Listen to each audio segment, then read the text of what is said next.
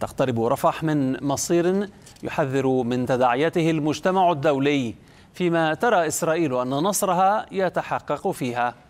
وسائل إعلام نقلت أن مجلس الحرب سيبحث غدا الخميس بشكل فوري موعد بدء العملية العسكرية في رفح. هذا وكان الجيش الإسرائيلي أعلن أنه سيمضي قدما في عمليته ضد رفح جنوب قطاع غزة مشيرا إلى أن أربع وحدات قتالية تابعة لحركة حماس موجودة في المدينة. وتقول إسرائيل إنها ستعمل وذلك قبل بدء الهجوم على إخلاء المدينة من المدنيين. وتعارض الولايات المتحدة الأمريكية هجوما بريا على رفح كذلك عبرت دول عدة عن قلقها العميق إزاء ذلك. بينما اعتبرت منظمات أن إجلاء المدنيين من رفح هو أمر غير ممكن. متحدث أوروبي بدوره حذر أن عملية عسكرية إسرائيلية في رفح ستكون لها عواقب كارثية.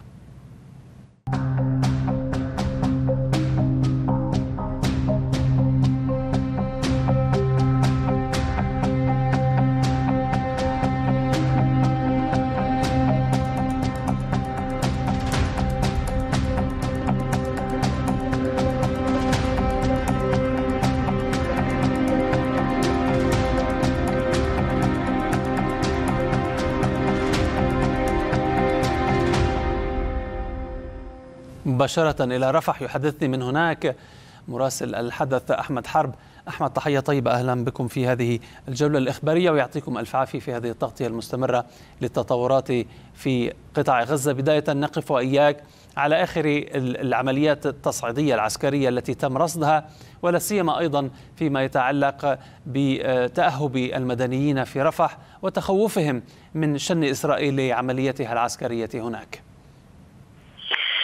نعم حسام يعني العملية العسكرية البرية والتهديدات الإسرائيلية والتصريحات الإعلامية من قبل وسائل الإعلام الإسرائيلية بالتحرك نحو رفح بشن هجوم على رفح خلال الأسابيع القادمة هذا يعني يؤدي إلى خوف وقلق لدى سكان رفح وإلى النازحين فيها.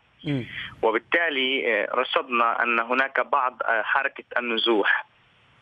من مدينة رفح إلى مناطق غرب مدينة خان يونس منطقة المواصي ووسط القطاع. لكن هذه حركة النزوح هي بشكل فردي وبشكل استباقي من هذه العائلات تحسبا وخوفا من أن يكون هناك استهدافات وغارات إسرائيلية مفاجئة على مدينة رفح في ضوء هذه التهديدات الإسرائيلية. ولكن عمليا حسام نعم.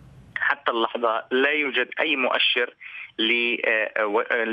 لقرب هذه العملية، اولا لأنه حتى هذه اللحظة لم يعني الطائرات الحربية الإسرائيلية لم تلقي منشورات لم ينشر الجيش الإسرائيلي خرائط يحدد فيها المربعات والبلوكات التي سوف يقوم باستهدافها والتوغل فيها في هذه العملية. وبالتالي العملية وقربها مرهون بهذه الخطوة، الخطوة التي تسبق هذه العملية نشر المناشير هي إجلاء المدنيين وهذا حتى اللحظة الجيش الإسرائيلي لم ينشأ لم ينشر أي المناطق الإنسانية الآمنة التي سوف يوجه النازحين وسكان مدينة رفح إليها. هناك أحاديث إعلامية. هيئة البث الإسرائيلية تقول بأنه منطقة غرب خان يونس ومناطق وسط القطاع هي هذه المنطقة التي سوف يوجه الناس إليها والنازحين وسكان رفح في حال يعني كانت هناك عملية وشيكه على رفح،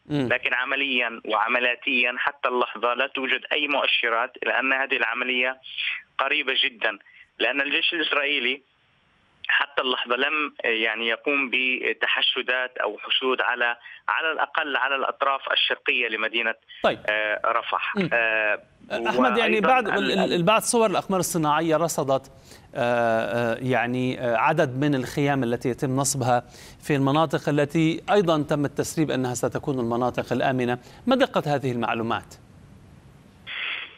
حتى للدقة حسام هذه الخيام التي يعني تم تصويرها سواء من الأقمار الصناعية أو حتى من كاميرات وسائل الإعلام في قطاع غزة. هذه هي في منطقة مواصي غرب في منطقة المواصي غرب مدينة خان يونس. لكن من يقوم بإنشائها هي منظمات دولية كالصليب الأحمر وأيضا بعض المؤسسات المحلية العاملة في قطاع غزة التي رأت أن هناك تكدس في مدينة رفح في مراكز الإيواء في المستشفيات. بعد أن يتم إنهاء ونصب هذه الخيام سوف تكون هناك دفعات من النازحين المتواجدين مثلا في مستشفى غزة الأوروبي شرق رفح. تدعو هذه المؤسسات هؤلاء النازحين بالتوجه إلى هذه المناطق حتى يتم إفراغ هذه المشافي يعني ويكون هناك ليست عمل بالضرورة مرتبطة بالعملية العسكرية في رفح. إلى حد ما حتى هذه اللحظة يعني إلى حد ما هي غير مرتبطة والمنظمات أقل ليس هناك ارتباط مباشر. بكل تأكيد طيب. هناك ربما ارتباط ثانوي أن في ضوء هذه العملية باشرت بعض المؤسسات تزامنت.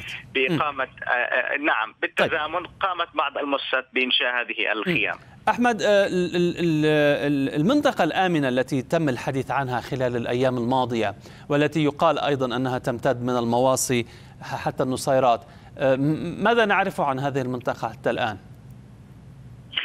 هذه المنطقة حسام هي تمتد على 12 كيلو مترا على طول الساحل البحري أو الغربي لمدينة غزة أو لمدينة خان يونس.